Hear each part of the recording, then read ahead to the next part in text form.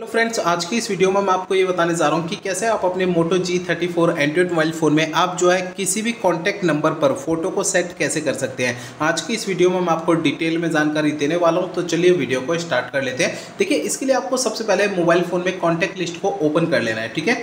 Contact list जो open करेंगे, इसमें आपको कोई भी जो है कॉन्टैक्ट नंबर सेलेक्ट कर लेना है। तो एग्जांपल के लिए मैंने एक ये नंबर जो है सिलेक्ट कर लिया। अब इसके बाद सबसे ऊपर आपको पेंसिल का ऑप्शन ऐसे सिलेक्ट करना है। अब इसमें आपको देखिए ऐड पिक्चर में जो सर्कल बना हुआ है ना ऐड पिक्चर पर सिलेक्ट करना है। तो आपका ये पेज आएगा। इसमें दो ऑप्शन है कैमरा और गैलरी कैमरा अगर आप सिलेक्ट करेंगे तो इससे आपके फ़ोन का कैमरा चालू हो जाएगा। आप साथ के साथ फ़ोटो कैप्चर करके लगा सकते हैं, ठीक है? और दूसरा ऑप्शन है गैलरी गैलरी सेलेक्ट करेंगे तो आपके मोबाइल फ़ोन की गैलरी ओपन हो जाएगी। आप जो है गैलरी में से भी कोई फ़ोटो सेलेक्ट कर सकते हैं, ठीक है?